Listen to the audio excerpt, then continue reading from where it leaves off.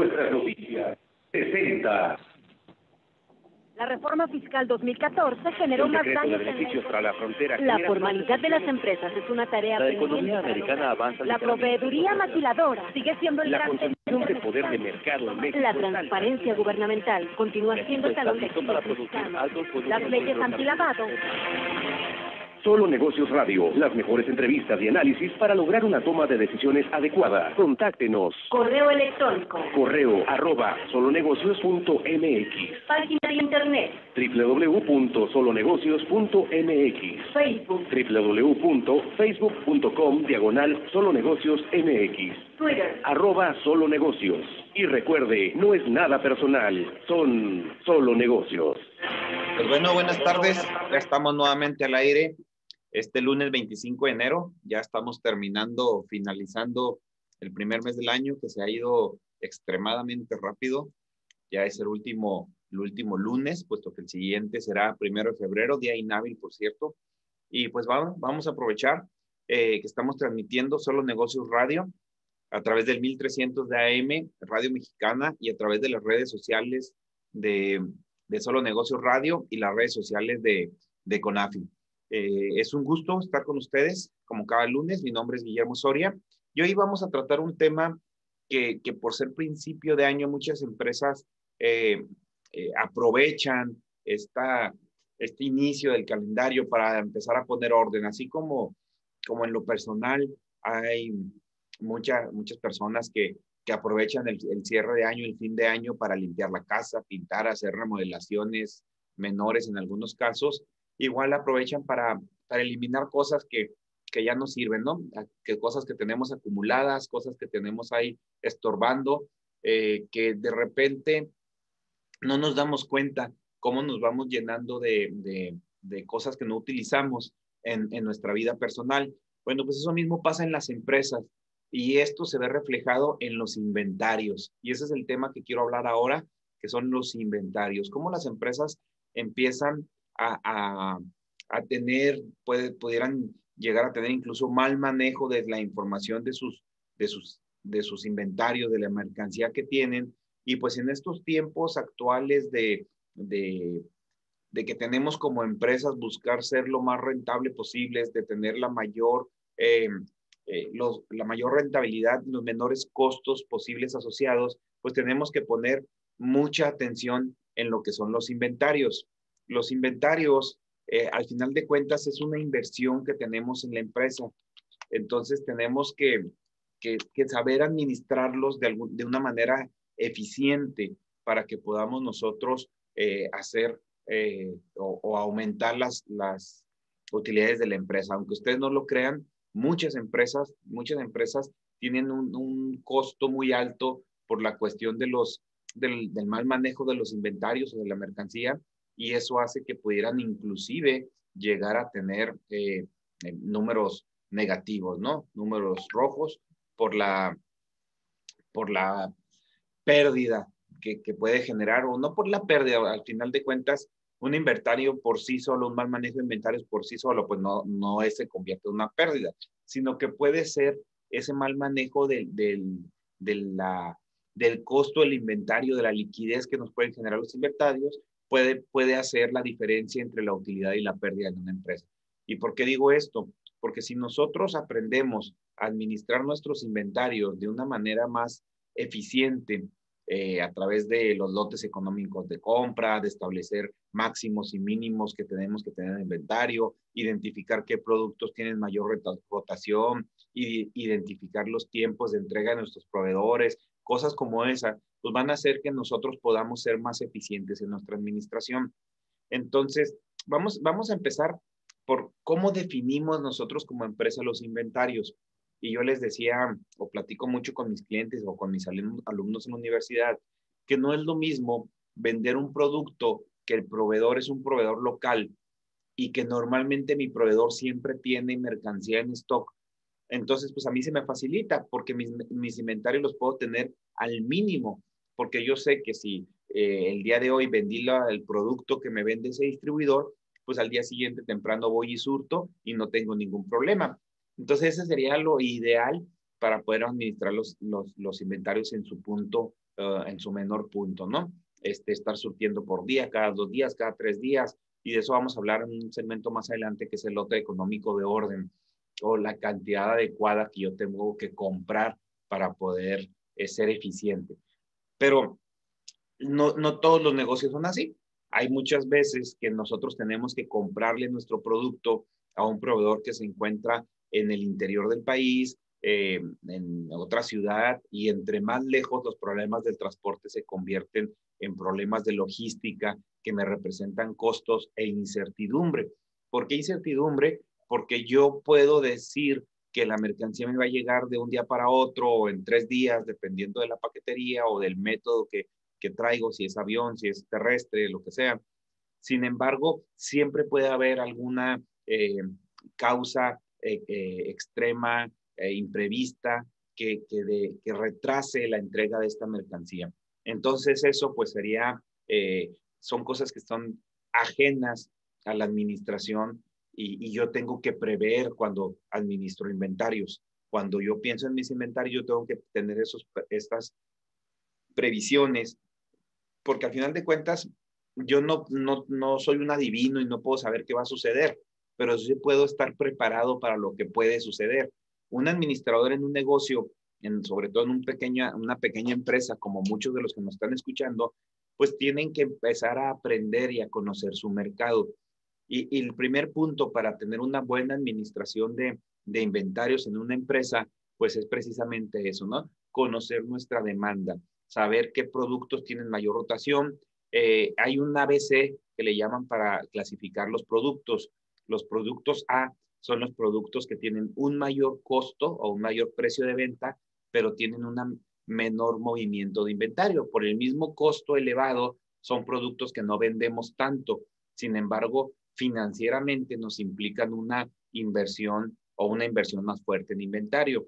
El, producto B, que son productos que tienen un costo medio y una eh, circulación o una rotación media que se están moviendo constantemente, pero no son ni muy caros ni muy baratos. Y los productos C, que son los que tienen una alta rotación de inventario, pero un costo muy bajo. Este, si nos vamos a una tienda, por ejemplo, una de esas tiendas de conveniencia, pues estaríamos hablando quizás de las papitas, de cosas de ese tipo, que tienen mucha rotación, pero pues son de precios baratos. En cambio, si nos vamos a los licores, pues quizás los licores, hay los licores de gama alta, pues tienen poca rotación, inclusive si se fijan, son productos que tienen guardados en vitrinas bajo llave.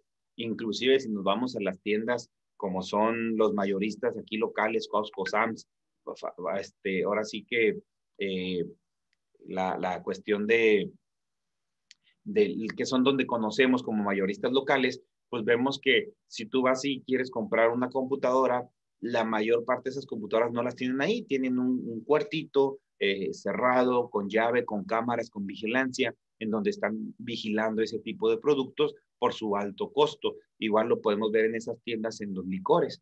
Son productos que a veces tienen la pura caja vacía en exhibición y que si tú quieres comprar un licor de un precio alto, lo, lo llevas esa caja, pagas y luego ya acudes a, la, a esa área de entrega para que te... Entonces son, son productos eh, como dijimos, a eh, productos de mayor precio, pero de menor eh, rotación, que se venden poco. Sin embargo, como parte de nuestro negocio, pues tenemos que tener, tenemos que tener un inventario. Los productos B, dijimos, son los productos normales, los que tienen rotación, los que son de precios medio. Y productos C son los productos muy económicos y de mucha rotación. Entonces, obviamente, vamos a poner más atención en los productos A y en los productos B. En los productos C que tienen alta rotación, bueno, tenemos que estar controlando como todo nuestro inventario, pero quizás eso no lo tenemos bajo llave o quizás de eso no estamos haciendo muestreos periódicamente para conocer el inventario. Entonces, el, el, primer punto que tenemos que tomar o que tenemos que tener en cuenta para administrar nuestro inventario, pues es identificar qué tipo de productos tenemos y cuáles son las proporciones. Otro punto que tenemos que inventar, para, que, identificar para el manejo de inventarios es la posible demanda de nuestros productos. Y pues eso es lo difícil porque es como la, la gente de mercadotecnia, ¿no? En la gente de mercadotecnia no, no, eh, pueden estimar en base a proyecciones, en base a campañas de publicidad, en base a ofertas, en base a la historia que ha tenido un producto, la historia de ventas que ha tenido un producto, podemos estar estimando o planeando una demanda de X o Y producto, ya sea del tipo A, del tipo B o del tipo C, ¿no? Porque inclusive los del tipo C, aun cuando son productos de mucha rotación, pues hay temporadas o hay o empiezan a quedar descontinuados y empiezan a entrar otros productos y entonces empezamos a notar que baja la, la rotación de esos productos.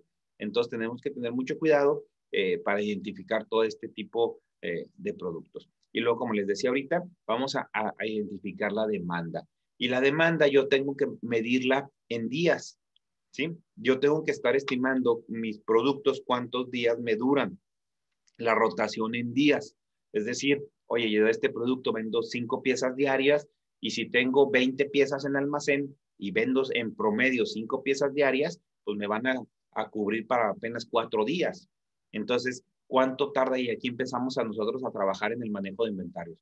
¿Cuántas, ¿Cuánto tarda mi proveedor en surtirme? Ah, es un proveedor local que me surte de un día para otro. Bueno, pues puedo tener el producto en inventario para una semana, 30 piezas, por ejemplo, donde yo sé que cada semana, los días lunes, puedo surtir y me va a durar perfectamente eh, toda la semana, ¿no? O los días que yo estimo y entonces no tengo que estar dando vueltas y vueltas de tener muy poquito como para estar surtiendo diario.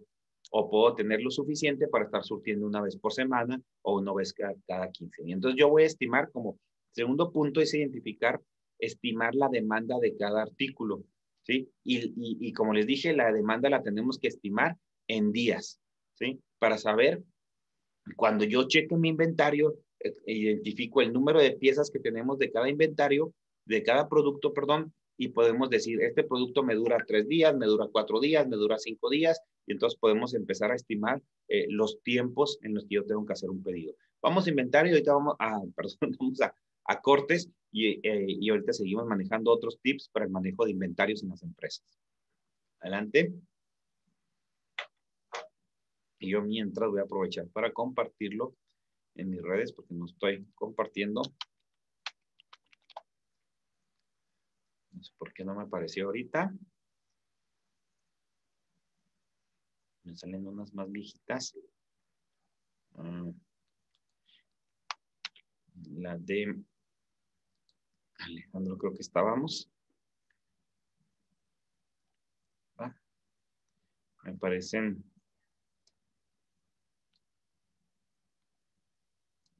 aparecen publicaciones anteriores. vamos a ver, para compartir aquí en redes sociales. Mm, ¿Qué está pasando?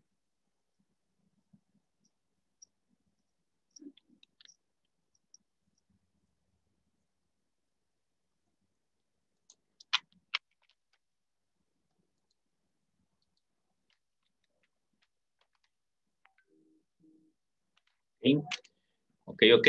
Espero tener aquí, terminar esto.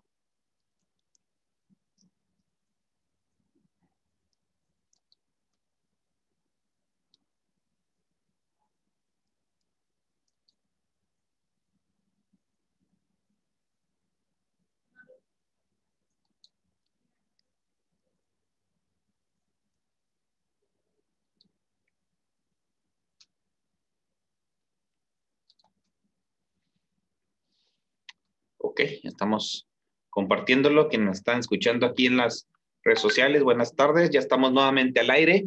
Eh, buenas tardes, les comentaba, ya estamos quienes me quieran escuchar a través de las redes sociales, a través de Facebook. Estamos en las redes sociales de, del 1300 AM, eh, Radio Mexicana, a través de Solo Negocios Radio, eh, a través de, la, un servidor. Y lo estamos por compartir también en la red de CONAFI. Sí, nos pueden encontrar en cualquiera de estas de estas eh, páginas de Facebook para poder eh, platicar o poder eh, ver si, si, tienen algún comentario, alguna pregunta, pues con mucho gusto lo podemos este, platicar o lo podemos comentar. ¿De qué estamos hablando el día de hoy? Estamos hablando de los inventarios, cómo es importante que, que se manejen, que identifiquemos perfectamente nuestros productos eh, el costo que puede implicar este, el, desconocer el, la rotación que tienen los productos, pues puede tener varias, varias repercusiones. Primero, eh, si tenemos mucho inventario, tenemos que pensar o considerar y visualícenlo de esa manera, es dinero parado. Es, tenemos dinero que se está haciendo posiblemente obsoleto, dinero que se está caducando. Me ha tocado ver, por ejemplo, farmacias que tienen que tirar, bueno, hay un procedimiento especial, no se tira el medicamento, se tienen que entregar en donación, este, pero tiendas de alimentos, tiendas donde el producto, el producto caduca o, o vence en, en cierto periodo, entonces al final de cuentas todo eso se convierte en dinero tirado a la basura. Entonces el inventario, si no lo estamos manejando adecuadamente, ¿qué es lo que va a suceder? Primero, y visualícenlo de esta manera, es dinero que tenemos parado en, en una bodega, que aparte del dinero que nos cuesta esa mercancía, también nos cuesta espacio tenerlo almacenado. Eh, tenemos que destinar metros cuadrados cúbicos de almacenamiento para tener ubicado, tenemos que destinar almacenes, anaqueles, eh, eh, racks que tienen un costo, que al final de cuentas ese, ese, ese, ese mobiliario para almacenarlo, pues tiene una depreciación y tiene un costo. En algunos casos tenemos que manejar inclusive condiciones adecuadas para el almacenamiento, como climatización, que no tenga humedad. No, a veces hay mercancía, quizás piedras, tierra, con productos que pues a lo mejor pueden estar allá afuera y no les pasa nada, pero aún así se, luego se desparrama y se pierde, ¿no? Este, pero hay productos que tenemos que tener con ciertas condiciones eh, adecuadas o que tienen que estamos pagando vigilancia, monitoreos y demás para estar cuidando el almacén. Entonces eso, pues definitivamente nos obliga a tener costos. Entonces, el tener un inventario excesivo o inventario alto, pues nos, nos lleva primero el costo en sí del inventario, el, el costo del almacenamiento del inventario, los posibles costos que podemos tener por la mercancía que, que vence, que caduca, que prescribe, que se daña, que se roban, que si se mojó, que si se hubo un siniestro, todo eso, ¿verdad? En los costos de vigilar esa mercancía. Entonces, por eso es que los inventarios pueden tener un costo tan importante. Tan es así que nosotros financieramente hay unas pruebas, las pruebas de liquidez de la empresa, en donde tú eh, haces una razón, este, una razón financiera en donde tú comparas todos tus activos contra tus pasivos. Es decir, tú comparas eh, lo que tienes eh, de manera líquida o lo más líquido posible contra lo que debes para ver si rápidamente, si en este momento tú tuvieras que cerrar tu negocio, eh, con lo que tienes puedes pagar tus deudas. Y hay una razón que se llama prueba del ácido y precisamente esa razón lo que hace es que quita los inventarios y dice, a ver, sin considerar los inventarios con lo que tienes, ¿puedes pagar tus deudas? ¿Por qué quitan los inventarios? Precisamente por la desconfianza que se le tiene financieramente a los inventarios. Al final de cuentas, los inventarios, primero, si lo vemos físicamente, puede ser mercancía que ya no sirve, que ya se hizo obsoleta, etcétera, pero si lo vemos financieramente, ¿a qué precio tiene, están evaluados esos inventarios? ¿Cuál fue el avalúo que se les hizo? ¿Son primeras entradas, primeras salidas? ¿Son eh, mercancías este, que ya se depreciaron, que ya no se pueden vender, pero sin embargo las tenemos en el inventario. Todo ese tipo de, por eso, de, costos que pues, tendríamos que ir y hacer un, un, un, inventario físico, es decir, contar y hacer un avalúo, inclusive a veces se puede inclusive considerar los servicios de, de un corredor público, un actuario, de alguien que, que, nos diga si el costo de los inventarios pues es real, ¿no? Hay productos que a lo mejor se compraron en oferta, que a lo mejor ya no sirven, ya no, ya están fuera de mercado, cosas así. Entonces, por eso es que se hace la prueba del ácido. En la prueba del ácido lo que se hace es que se eliminan los inventarios y entonces, y considerando todo lo que te queda, este, dinero en efectivo, cuentas de banco, inversiones, inclusive cuentas por cobrar, y contra eso se compara contra lo que tú tienes que pagar. Entonces, pues lo normal es que tengamos por lo menos un 2 a 1, ¿no? Es decir, que yo pueda pagar todo lo que debo y me sobre. ¿sí? Para recuperar algo de capital, mínimo el uno a uno, es decir, con lo que tengo pago lo que debo, y entonces pues ya sería lo, lo mínimo para considerar lo que, que podemos sobrevivir como empresa. Si a eso le agregas el inventario, bueno, pues quizás puedes rematar el inventario, venderlo. Todos sabemos que cuando una empresa necesita deshacerse de inventario, pues lo remata y lo vende muchas veces por abajo del costo. Entonces, los tips que estamos manejando ahorita para el manejo de inventario Si vamos recapitulando un poco, primero identificar qué tipo de productos tenemos en los inventarios, si son productos ABC, es decir, caros con poca rotación, productos medios tienen una rotación suficiente y su costo no es tan alto ni tan bajo, y, productos C, es decir, tienen alta rotación con unos costos muy baratos. Segundo, medir nuestro inventario en días, ¿sí? En días de, ¿y eso cómo se hace? Pues estimando el consumo o estimando la venta que vamos a tener de esos productos, cuántos voy a vender según las proyecciones que tenemos, ya sea si es materia prima, pues del departamento de producción, si es producto terminado, pues del departamento de, de, ventas, en donde nos va, vamos a estimar y cómo hacemos para hacer esta estimación, pues nos vamos a, a ver el historial de, de nuestro negocio, ¿verdad? el historial de ventas que tenemos, entonces eso nos va a ayudar a manejar el, la proyección en días. Y luego tenemos que identificar cómo vamos a manejar nuestro, nuestro inventario, que, dijimos que, que un, una de las maneras más comunes de manejar es lo que le llaman primeras entradas y primeras salidas. Eso es para poder nosotros darle un valor al inventario que tenemos. ¿Eso qué significa? Pues que la mercancía que llega primero es la primera que se va. Ahora, esto me han preguntado, bueno, pero físicamente tengo que hacerlo o nada más en números. Pues yo, yo aquí les diría, según el producto. Si son productos que con el tiempo pueden caer en, en, en caducos o, o, vencen o prescriben, pues sí, lo mejor sería los productos más viejos son los primeros que salen, sobre todo si son productos de alta rotación, en donde podemos ir cambiando y actualizando y nuestro inventario físico, pues son los productos más nuevos. Para eso, obviamente, tenemos que tener un control y unas instalaciones una, adecuadas. Es como cuando llegan ustedes con productos de, del mandado a la alacena y, ¿qué hacen? Si compran latas, ¿a poco las latas que compraron las ponen enfrente? Normalmente lo que hacen es que, o por lo menos así me enseñaron a mí, si tú tienes ya latas de ese mismo producto, las, las recorres hacia enfrente y las nuevas las pones atrás. Eso obliga a que te comas primero lo, lo, la mercancía que va a, a, caducar más pronto y vas dejando siempre. De otra manera, si pones las latas nuevas enfrente, ¿qué va a pasar? Que cuando abras la alacena para prepararte tus alimentos, pues agarras la primera lata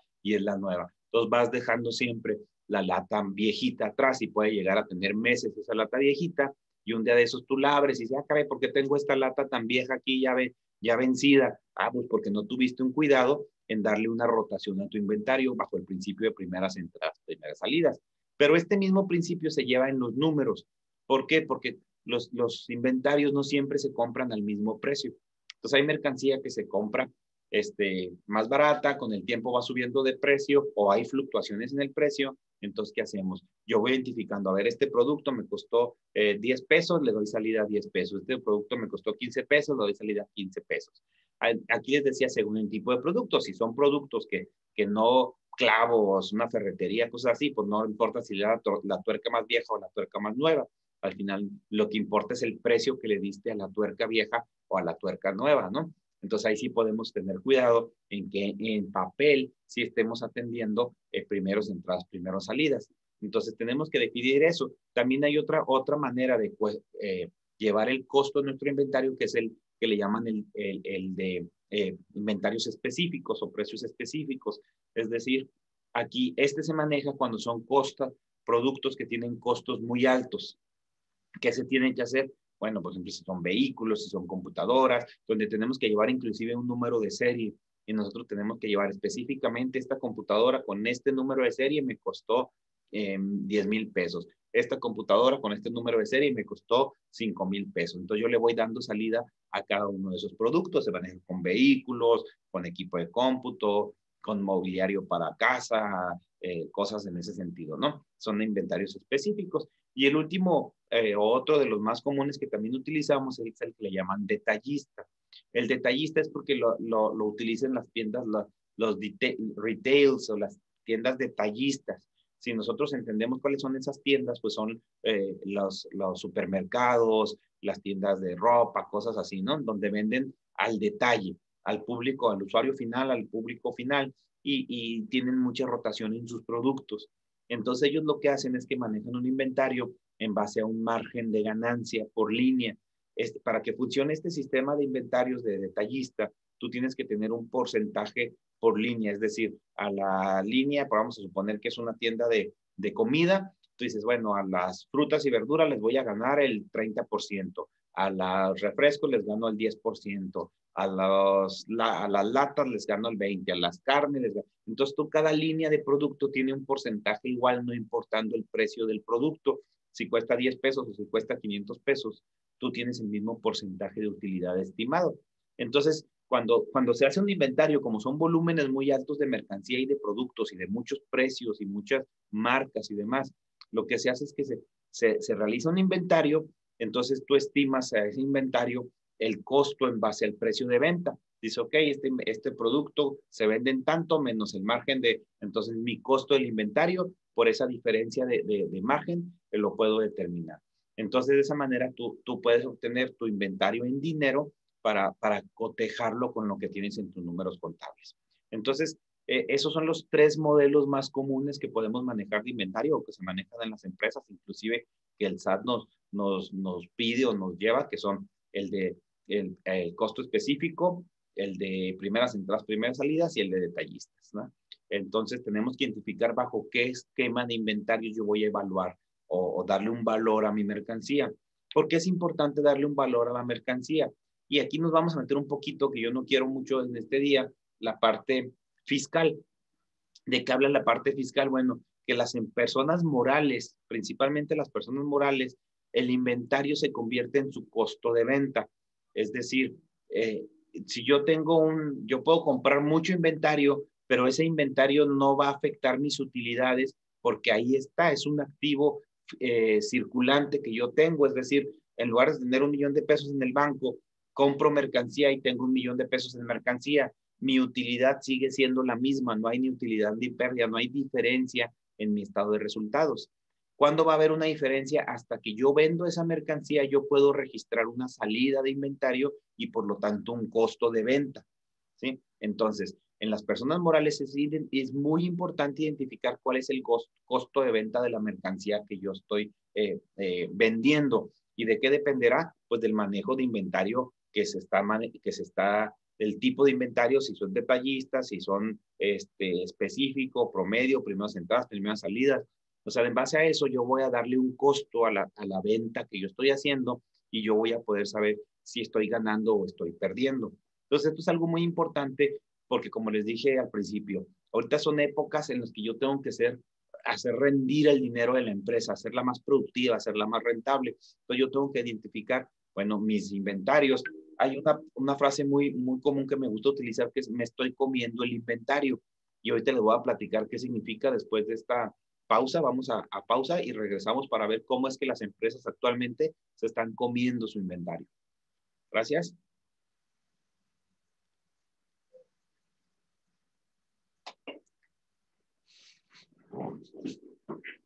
Es muy común que en tiempos de, de pocas ventas de falta de liquidez, de que tenemos que pagar deudas o algo así, las empresas pues empiezan a comer su inventario literalmente, ¿verdad? ¿Cómo nos comemos el inventario? Pues así, literal.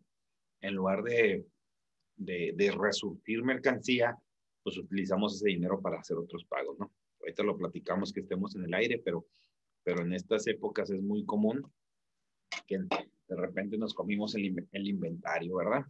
Entonces hay que tener cuidado con eso y hay que tener cuidado con lo que, con lo que manejamos nosotros de, de productos. ¿no? ¿Por qué platiqué o por qué toqué este tema ahorita que me están escuchando a través de las redes sociales? Les decía yo al principio del programa que es muy común que cuando empieza el año, pues queremos poner orden, ¿no? A veces queremos poner orden en, nuestras vidas y en nuestras empresas y en lo que nos rodea. Y uno de esos órdenes que queremos poner, pues es precisamente eh, iniciar con un sistema o establecer un sistema que me pueda manejar bien mi inventario adecuadamente, ¿no? Entonces, este, pues ahí es donde, donde podemos aprovechar ahorita que apenas va, estamos por cerrar el primer mes para, para establecer los controles adecuados para, para manejar nuestro, nuestro inventario para manejar nuestro, conocer por lo menos nuestro inventario, además de que por ley tenemos que hacerlo, por ley tenemos que identificar nuestro costo de inventario. Este, entonces eso muchas personas no lo, Muchas empresas no lo hacen y, pues al final de cuentas es parte, es, auditable el inventario. Es, ¿Por qué? Como les decía ahorita, pues porque el inventario tiene que ver con tu costo de venta si eres una persona moral. En las personas físicas pues tenemos la ventaja de que todo lo que compramos se va directamente a disminuir nuestra utilidad, pero con las personas morales no. Entonces es importante manejar nuestro manejo eh, o identificar adecuadamente nuestro inventario para, porque ese se va a convertir en números para, para nuestra empresa. Saludos a quienes nos están viendo por ahí en las, en las redes sociales. Espero que les, les sirva un poco este, este tema.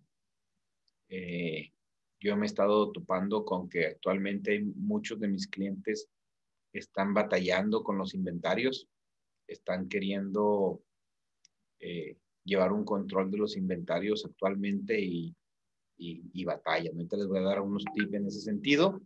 Ya estamos al aire nuevamente. Gracias allá en cabina. Buenas tardes.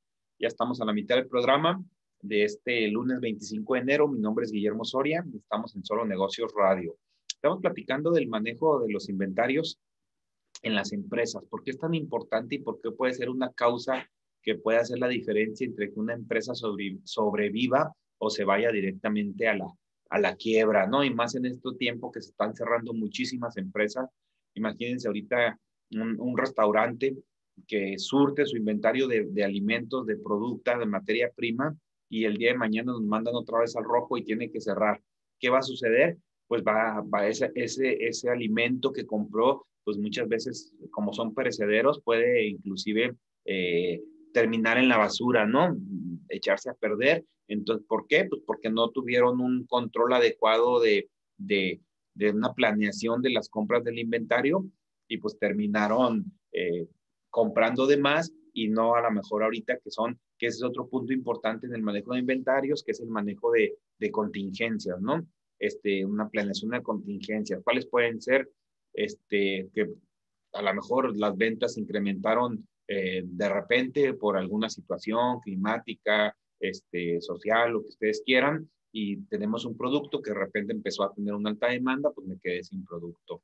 Este, eh, a lo mejor no pude pagarle a mi proveedor por algún problema de, de, flujo efectivo y me quedé sin inventario. Un error de cálculo en el inventario. Yo pensé que había más piezas, pero resulta que eran de otro modelo, de otro color, y eso hizo que no comprara, no surtiera y me quedé sin inventario.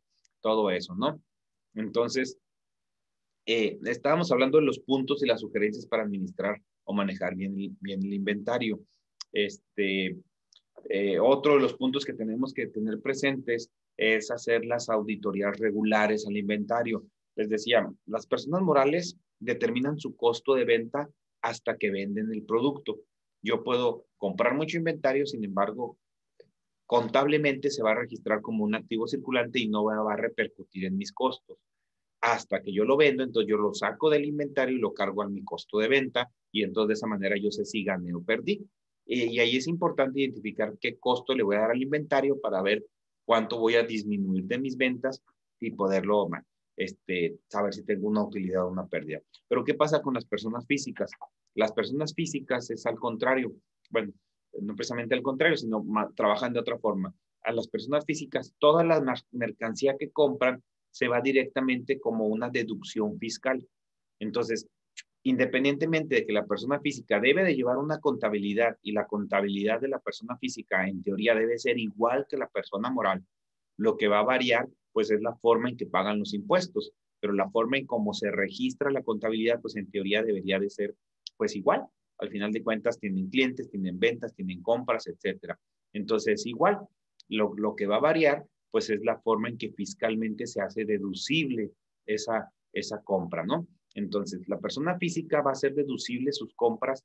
Entonces, ¿qué, qué es lo que hacen muchas personas físicas cuando tienen, van, ven que va cerrando el año y tienen mucha utilidad? Ah, pues compran mercancía, aumentan sus inventarios. ¿Para qué? Para poder hacer deducible esa mercancía, por lo tanto, tienen menos utilidad y por tener menos utilidad, pues se va a ver reflejado en una menor en, menos impuestos. ¿Estamos de acuerdo? Pero las personas morales no. Ahora, hay que tener cuidado de no caer en el error que por quererme ahorrar impuestos y comprar más inventario, pues resulta que ese inventario se me hace obsoleto, se me echa a perder, como el ejemplo que estoy poniendo ahorita de los restaurantes, de que donde pueden comprar mucho inventario y de repente cierran por una contingencia y entonces este, se les va a echar a perder la mercancía. Entonces, hay que tener mucho cuidado. Y quizás si es un producto que no pasa nada, si se, si se pasa el tiempo, si se hace, eh, no se va a echar a perder, tenemos no nos va a, eh, a, implicar costos altos de almacenaje, pues puedo tener esa, esa ventaja, ¿no? Eh, les decía que, ahora, para llevar el control del inventario, pues tenemos que llevar una auditoría a un, un este, un control de estos inventarios y esto, este control se va a dividir en dos partes. Primero tenemos que tener, establecer un sistema con el que vamos a controlar nuestro inventario. Y cuando estoy hablando de un sistema, acuérdense que un sistema es una serie de pasos, una serie de pasos a seguir para, para, para llegar a un objetivo. Pero nuestro sistema no nada más estoy hablando de un sistema de computadora, que quizás el sistema de computadora va a ser necesario dentro de nuestro sistema de control de inventarios de la empresa. Es decir, cuando establezco un control de inventarios o un sistema de control de inventarios en la empresa, pues tengo que poner primero quién recibe la mercancía, qué documento se va a generar. Es más, podemos empezar desde antes, al momento de hacer quién ordena la compra de la mercancía, en base a qué políticas se, se ordena la compra máximos y mínimos, este, por temporada, por, por el historial que tenemos de compra, todo ese tipo de cosas. Una vez que se hace la compra, tenemos que tener establecido quién recibe la mercancía y cómo se coteja lo que se recibe contra lo que se solicitó, porque no es lo mismo que a lo mejor yo pedí 10 eh, playeras color verde y me llegaron 8 playeras color rojo. Y si la persona que recibe la mercancía no sabe lo que está esperando que va a recibir, pues ya le va a dar entrada a 8 playeras color rojo y nosotros estamos bien confiados porque tenemos 10 playeras color verde en el inventario. Y a la hora que llega nuestro cliente, y aquí están tus playeras color verde, vamos al almacén y resulta que tenemos ocho y son color rojo, ¿no? Y eso es algo muy común. Yo creo que mucha gente lo hemos vivido cuando vamos a una ferretería, cuando vamos a unos lados en donde nos dicen, checan el inventario, se van ahí atrás a la bodega y luego regresan y dicen, y fíjate que no había, estaba mal el sistema. Pero bueno, esto tiene que ver desde el principio, desde quien recibió, si, si recibió, si está recibiendo lo que se ordenó, lo que se solicitó en las cantidades y especificaciones que se solicitaron en la orden de compra. Y luego que esa persona le dé una entrada al almacén.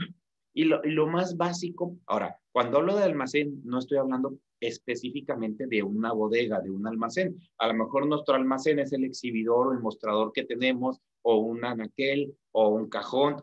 Al almacén, es decir, yo tengo en existencia X cantidad de productos, entonces yo tengo en almacén, vamos a llamarle así. Entonces, cuando se le dé esa entrada, yo puedo empezar a tener las clásicas tarjetas de almacén que inclusive en las papelerías así las venden como unas tarjetas de almacén, en donde ustedes lo que único que van a hacer es poner número de producto y luego vienen algunas columnas como es este fecha de entrada, el número de nota o factura con la que la recibimos, cantidad y costo de la entrada y luego salidas y el saldo. Entonces son como un estado de cuenta de, nuestras, de nuestros productos y vamos a tener una tarjeta por cada producto. Obviamente, si nosotros tenemos 100 productos, pues son 100 tarjetas, pero si tenemos 1000 productos, pues ya empieza a complicarse porque tenemos que tener 1000 tarjetas. Y es increíble cómo actualmente todavía hay empresas que están manejándose con ese sistema de tarjetas. Nosotros nos dedicamos a, ayudarles a, las empresas a establecer un sistema para el control de inventarios, un sistema en un software. Para eso, pues les damos algunos tips como estos que estamos manejando ahorita para que administren ese, inventario físicamente, entradas, salidas y demás. Sin embargo, nos ha tocado y todavía en meses pasados, en, en fechas recientes, donde les dijimos, ok, vamos a alimentar el inventario inicial del sistema y sacaron su cajita con tarjetas. Entonces, aquí está mi inventario. Ah, caray. Y sí, tarjeta por tarjeta empezaron a alimentarlo. Se supone que esas tarjetas deben de estar vaciadas en una hoja de cálculo, una hoja de Excel de un sistema en donde ustedes pueden ir costeando, porque al final de cuentas el inventario eh, de manera independiente de una tarjeta que me diga que hay 10 piezas, que de 100 pesos cada uno, 1000 pesos, pues me va a dar información, pero no es la que necesito. Yo necesito saber cuánto cuesta todo mi inventario para poderlo registrar de manera completa en mi sistema, en mi contabilidad y poder cotejar cuál fue mi costo de venta. Esos son los dos puntos importantes. Primero, tenemos que identificar el, el, el, conocer cuánta mercancía tengo de cada mercancía, cuánto me cuesta esa mercancía para saber cuánto tengo ahí. Me ha tocado hace, hace algunos años, les voy a poner un ejemplo, donde acudimos a una empresa a realizar un inventario que nos contrataron para hacer el inventario de fin de año, que fue, les, quisiera decir yo, debut y despedida, este, porque fue, es una friega eh, hacer ese inventario, por eso ahorita les voy a dar algunos tips para irlo haciendo, que no tenga que hacer un, un solo inventario final de año y ya casi no se ve que lo hagan así las empresas. Aparte que ahorita lo haces con la ayuda de la tecnología. Entonces, esas personas en ese negocio tenían su, su inventario, tenían muchos productos más, tenían como tres almacenes y ni siquiera ellos sabían lo que tenían en inventario. Entonces, ¿cómo es posible que tú tienes mercancía llenándose de polvo, de tierra, echándose a perder, expuesta, que inclusive se la roben, y, y llega alguien, un cliente, te pide un producto y les dices que no tienes. Cuando ahí lo tienes allá arriba echándose a perder, pero como no lo tienes identificado, a lo mejor sí tienes una tarjeta y la tarjeta dice que tiene 10 piezas, pero esa tarjeta la tiene ya la persona del almacén y la persona que está en el mostrador en el área de ventas, pues desconoce si hay o no hay. Y más si son personas nuevas, si es personal nuevo que está dentro de la empresa, pues menos vas a ver si, si, si hay o no hay, ¿no? ¿Qué productos tenemos? Es imposible conocer todos los productos que podemos manejar en, una empresa. Entonces, para eso es que se implementa un sistema en donde esas tarjetas, o ya ni siquiera son tarjetas, es un CARDES que se llama digitalmente dentro del programa y me va a dar un listado de, de, existencias y de costos de esas existencias por línea, por marca, por producto, por como nosotros. Que ese es otro punto bien importante. Acuérdense cuando estábamos hablando de, de cómo podemos, cómo debemos de manejar el inventario. Uno de los métodos es el de detallista, en donde los agrupamos por línea, por, por margen de ganancia. Entonces, en el de detallista también debemos de hacer nuestras agrupaciones por varias clasificaciones diferentes. Vamos al último, a la última pausa y ahorita les platico cómo implementarlo, cómo meter toda esta información en un sistema de inventario para que les dé la información más útil posible. Vamos a una, a una pausa en cabina y regresamos.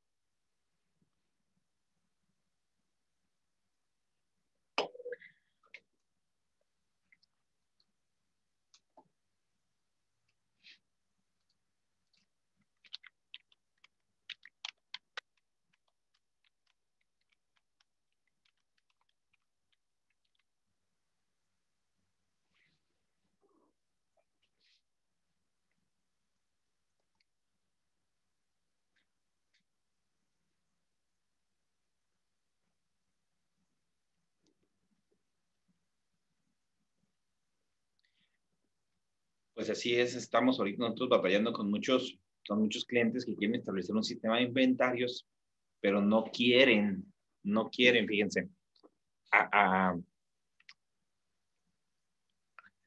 aceptar los costos que implica eso. Sin embargo, si nosotros hacemos una balanza entre el costo y el beneficio de un sistema de inventarios, les aseguro que a la larga el costo de tener un sistema de inventarios se va a ver este, eh, más sobrepasado por los beneficios de tener un control de inventarios.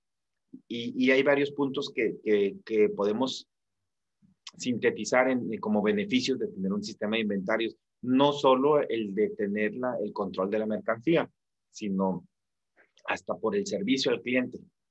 Hasta por el servicio al cliente, porque imagínense que ustedes llegan a una tienda y qué incómodo es que te digan, sí, sí tengo existencia y vas a surtir y resulta que no hay. Buenas tardes, ya estamos en el último segmento. Mi nombre es Guillermo Soria, estamos en Solo Negocios Radio, transmitiendo por el 1300 AM y por nuestras redes sociales de Solo Negocios y, de Conafi. Es, es, un gusto estar con ustedes. Estamos platicando de los inventarios y el impacto tanto financiero que tienen las empresas, este, económico, pero también hay un punto que, que tiene que ver en el buen manejo de los inventarios, que es el control, que es la calidad o el servicio al cliente. ¿Cuántas veces y cada vez es menos porque es más fácil que ahora las empresas establezcan un sistema de inventarios, pero vamos a un negocio porque se supone que en ese lugar hay algún producto y resulta que no hay, que ya no está, que se vendió, que nos equivocamos. Es más, ahora podemos ver mucho eso en las farmacias, en las cadenas de farmacia. Ahorita llega uno a surtir una receta y te dicen, ¿sabes qué? No lo tengo, pero en la sucursal de la López Mateos, ahí sí hay, hay tres. Y a veces hablan, oye, este, ¿qué, ¿qué, tienen que hacer? Me ha tocado es que les dicen, a ver, chécate porque aquí estoy viendo que tienes tres piezas. Sí hay, y entonces este, ellos checan, ah, no, sí, aquí está, no, que apártame una porque ahí van para allá. El problema es que a lo mejor en lo que llegamos, pues alguien entró al sistema, ah, sí, aquí tengo y las vende, ¿no? Entonces, bueno, pues esa ya sería una muy mala suerte, pero eso nos ayuda a dar un buen servicio al cliente, porque qué mal es también que te digan, sí, aquí tengo, venga por su producto, llegas, ok, me acabo de hablar, pero pregunté por una parte, por una pieza, me dijeron que sí tenían, se mete la persona al, al ah, sí, aquí hay una, ahorita vengo, voy y se la traigo al almacén y resulta que no hay. Qué, qué incómodo y qué frustrante es para el cliente eso. Otra cosa que también con un mal control de inventarios es cuando vamos a comprar a una tienda y no hay, y, luego regresamos por otro producto y tampoco hay, y luego regresamos por otro producto y tampoco hay. Y muchas veces no hay los productos que necesitamos porque quien está encargado de las compras, pues no sabe que no hay. Así, así de sencillo. Quien compra no se ha dado cuenta que ese producto ya se acabó y no lo ha surtido por desconocimiento. Entonces, un mal manejo de inventarios va a hacer que yo a esa tienda, pues no voy a regresar, porque ya sé que a veces hay productos y a veces no hay. Entonces, qué incómodo es que yo quiero ir a surtir y pues es un albura el saber si va a haber o no va a haber mercancía. Entonces, mejor prefiero este, ir a otra tienda donde yo a lo mejor es me queda más lejos, a lo mejor es un poco más cara, pero yo sé que en esa tienda siempre hay o no hay. O sea, si me dicen que hay es porque hay y no estamos adivinando para ver si hay o no hay ese producto, ¿no? Entonces, ¿cómo el inventario, vamos, vamos dándole la importancia que tiene. Primero, es un costo muy alto para la empresa el tener productos que tengamos un inventario excesivo.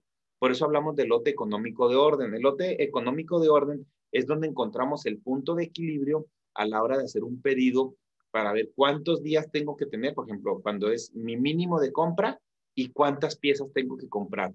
Entonces, el costo, por ejemplo, del flete, de la transportación, del almacenamiento, de administrar ese inventario, es menor que el costo de tener ese inventario parado. Entonces, a veces dices, no, prefiero tener mucho inventario porque me cuesta mucho el flete, porque tengo incertidumbre de, de cuándo va a llegar, de que si mi proveedor dice que en cinco días y llega en diez, entonces yo prefiero tener un inventario muy alto.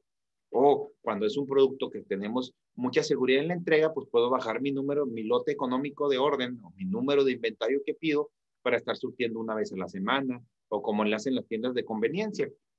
Todas esas tiendas donde tienen, son pequeñas y prácticamente todos los días en la noche se surten esas, esas tiendas. Eh, ¿Por qué? Pues porque el, costo del piso del almacén, si se fijan, sus, sus bodegas son muy pequeñas es prácticamente para que descargue el camión y provisionalmente en lo que se acomoda en los pasillos y ya. No tienen un inventario porque tienen un punto de distribución en donde desde ahí surten. Vamos a pensar que ese punto de distribución pudiera ser mi proveedor. Afortunadamente ahorita, si utilizamos adecuadamente un sistema, yo le puedo dar acceso a mis clientes a que entren al sistema y puedan este, estar eh, checando mi inventario y levantando pedidos en base a eso. Entonces yo puedo ver o al contrario, yo puedo entro, veo el, inventario de mi proveedor y digo, ¿sabes qué? Hay muy poquitas piezas, pide, pide más, para, no vaya a ser que se le acaben y nos quedemos sin, sin inventario. Entonces, ahora, el costo-beneficio, eso es bien importante identificarlo, porque muchas personas, o sea, si tú vas a implementar un sistema de inventario, o sea, si tú tienes muchas piezas, muchas unidades, o es importantísimo no quedarte sin piezas, ya sea porque produces o porque pierdes clientes, bueno, pues tienes que tener implementado un buen sistema de inventarios. Pero no nada más es comprar el sistema. Muchas veces queremos que la misma persona que hace las compras maneje el inventario o la persona que vende maneje el inventario. Eh, aquí es importante definir si es necesario tener una persona encargada del inventario y del almacén. Y esa persona tiene que tener características específicas, así como cuando tú contratas a alguien para ventas, buscas que esa persona sea carismática, sea tenga una bonita sonrisa, sea amable, convenza, tenga facilidad de palabra para convencer a nuestros clientes y pueda hacer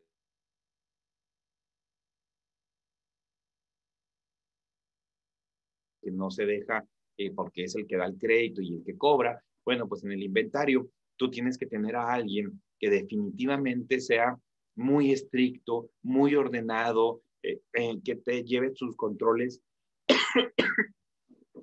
que lleve sus controles muy, muy, muy a detalle. Que, por ejemplo, si llega alguien y le dice, oye, necesito cinco piezas del producto X, no, no le diga, ah, sí, llévatelas, si ahorita estoy aquí en el celular entretenido, ahorita lo registro en el sistema y por lo pronto llévatelas porque te urge, ¿no? Esta persona tiene que ser tan estricta, permíteme un momento, déjame, le doy salida, fírmame que te estás, que te estoy entregando cinco piezas o que se vendieron y demás, y pueda llevar su inventario a, detalle. Entonces eso, eh, queramos o no, nos representa un costo. Entonces, para poder llevar el inventario tenemos que pensar mínimo en, en, tres costos, aparte de lo que es el costo de la mercancía en sí.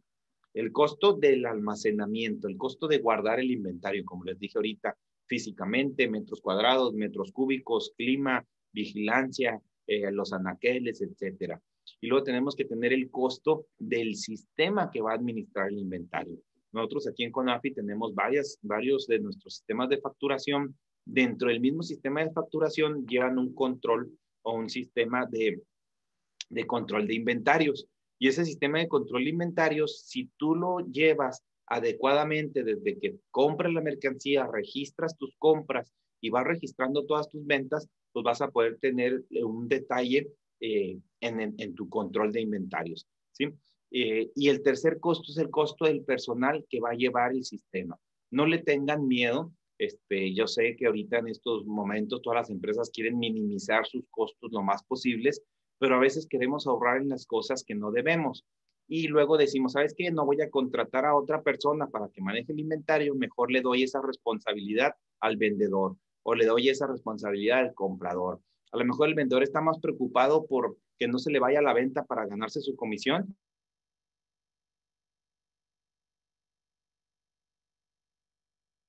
el que sigue y no se toman el tiempo para registrar eso. O al contrario, si es la persona de compras, pues está levantando pedidos, dándole seguimiento que porque no ha llegado a los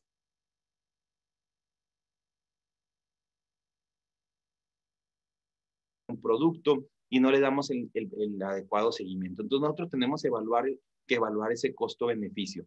O sea, realmente amerita que yo tenga una persona que me cuide mi inventario, que me va a ahorrar primero evitando fugas de inventario, fugas de mercancía, evitando obsolescencia de productos, va a estar vigilando qué productos va a estar dándole, inclusive lo que les decía ahorita, hasta la forma en que lo guardamos, de poner los que se van a vencer más enfrente, darle salida primero a esos productos, estarlos limpiando, estarlos manteniendo, que no se llenen de tierra, que no los pisen, que no los maltraten, todo eso, este, dándole salida a los productos, verificando que quien saca un producto lo haya registrado en el sistema o firme inclusive la salida del producto cuando se le entrega la mercancía, dándole la entrada adecuada y llevar ese orden para tener eh, mi, inventario efectivamente costeado.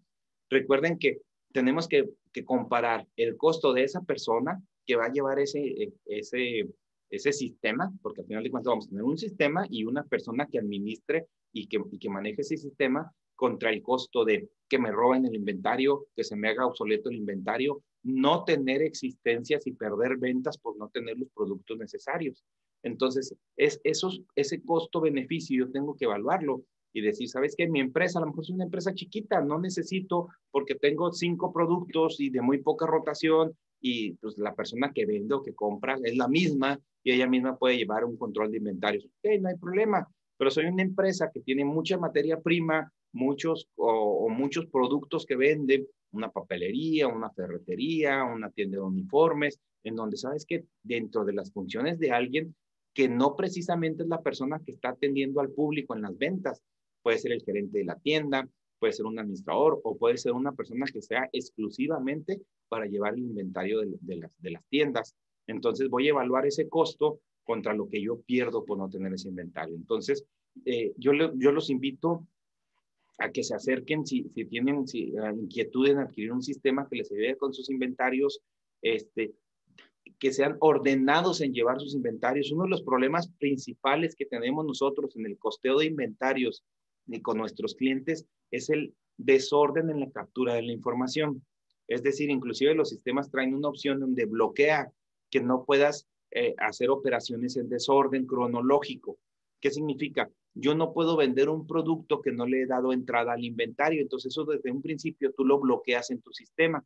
Entonces tú dices, a ver, ¿puedo vender productos con existencias negativas, sí o no? ¿Eso qué va a significar? Que, que si llega, eh, voy a hacer una factura o voy a darle salida a un producto que apenas me va a llegar y yo ya le di la salida.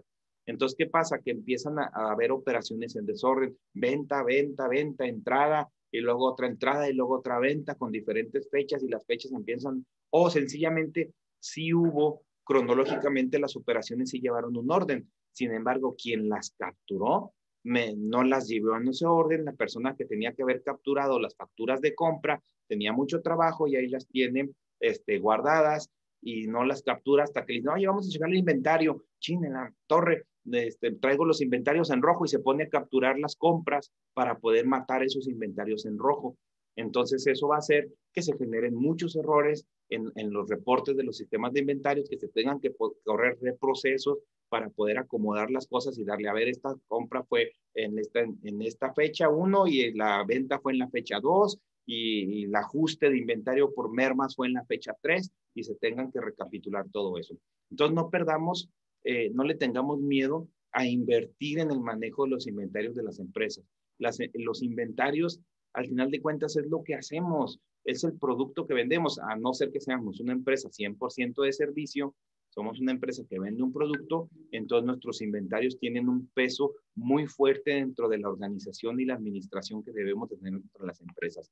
Muchas empresas pequeñas quiebran por un mal manejo de inventarios, porque se les hace fácil al dueño de la empresa decir, ah, está bien barato, compro mucho y resulta que no se vendió y ahí tienen la, la bodega llena donde no pueden ni siquiera guardar producto nuevo, producto que sí tiene rotación, porque en teoría compraron algo en oferta y pues valía la pena. O al contrario, por no querer comprar, por no tener un lugar en donde almacenarlo o por no tener dinero para comprar inventario, estamos perdiendo clientes porque pues no tenemos el producto cuando lo necesitamos.